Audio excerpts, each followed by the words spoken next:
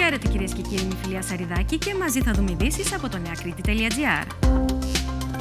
Ραγδαία επιδείνωση του καιρού. Βαρομετρικό χαμηλό που κινείται προς την Ανατολική Μεσόγειο συγκρούεται με βαρομετρικό υψηλό που κατέρχεται από τα βόρεια, συνοδευόμενο από ψυχρή αέρια μάζα.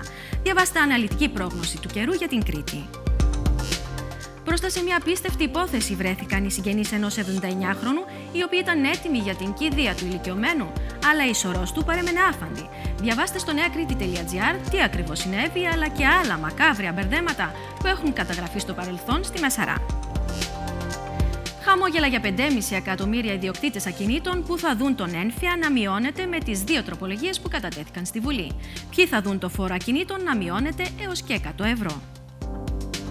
Για ειδήσεις από την Κρήτη, την Ελλάδα και τον κόσμο, μπείτε στο νεακρήτη.gr και ακολουθήστε μας στα social media. νεακρήτη.gr, η ενημέρωση στα χέρια σου.